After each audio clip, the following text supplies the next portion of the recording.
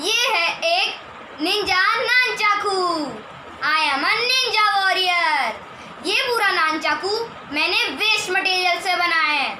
आओ देखें, हम इस नान चाकू को कैसे बनाते हैं? आओ देखें, हमें निंजा नान चाकू बनाने के लिए क्या क्या चीज़ें चाहिए? हमें कार्डबोर्ड सीजर स्टेपलर और कुछ रफ पेपर्स चाहिए। ये पूरा निंजा निंजा नान चाकू वेस्ट मटेरियल से ही बना है। आओ हम इसे कट करते हैं और उसके बाद आगे नान चाकू बनाना चालू करते हैं।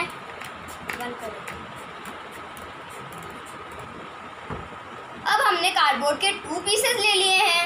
अब हम इनको रोल कर देंगे। कुछ इस तरीके से हमने इसको रोल करना है और उसके बाद हम इस पर स्टेपल कर देंगे। कुछ इस तरीके से हम इसको स्टेपल कर देंगे। और इसके बाद ऐसा ही इस कार्डबोर्ड के साथ भी रोल बना लेंगे।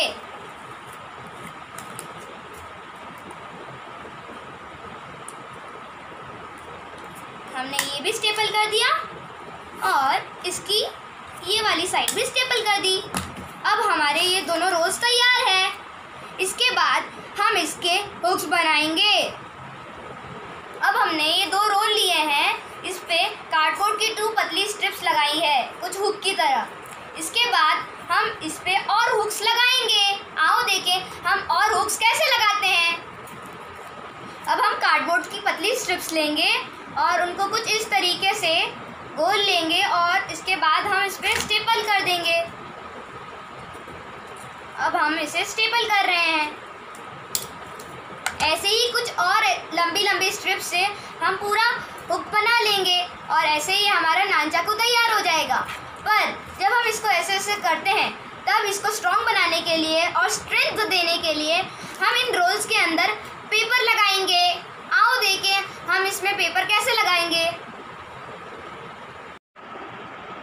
अब हम ये रोल लेंगे, इसमें रफ पेपर्स के कुछ छोटी छोटी सी बॉल्स इसके अंदर डाल देंगे। अब हम ऐसे ही कुछ और बॉल्स लेंगे और इस पूरे रोल को पूरा पेपर से भर देंगे, ताकि इसको स्ट्रेंथ मिले। ऐसे कुछ इस तरीके से हमारा नान चाकू तैयार हो जाएगा। प्लीज़ मेरे वीडियो को लाइक करें सब्सक्राइब करें और शेयर करें। आप मेरे वीडियो को ज़्यादा से ज़्यादा लाइक करें तो उसके बाद मैं आपको इस, इससे स्ट्रॉन्ग नान चाकू बना के बताऊँगा।